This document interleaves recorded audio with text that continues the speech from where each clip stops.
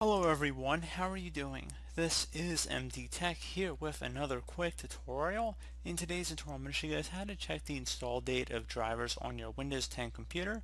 So this should be a pretty straightforward tutorial and without further ado let's go ahead and jump right into it.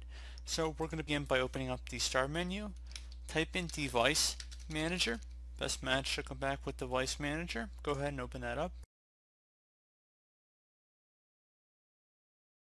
Expand whatever selection you want to determine the driver for. So let's just say display adapters.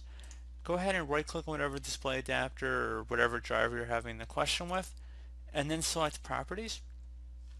Select the details tab and then underneath property click inside the drop down and select find install date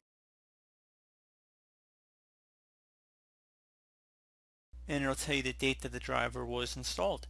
So pretty straightforward. If you decide if you want to go update the driver, you can select the driver tab and select update driver. Search automatically for updated driver software, so select that. And it will search online and see if there's any applicable driver software updates. A lot of times Windows Update will automatically search for driver updates as well, so it doesn't usually require a lot of interaction unless there's a specific driver you know you need to be updated.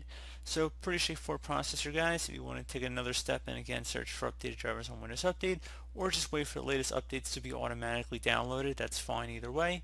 So pretty straightforward process here guys. I do hope that I was able to help you out and I do look forward to catching you all in the next tutorial. Goodbye.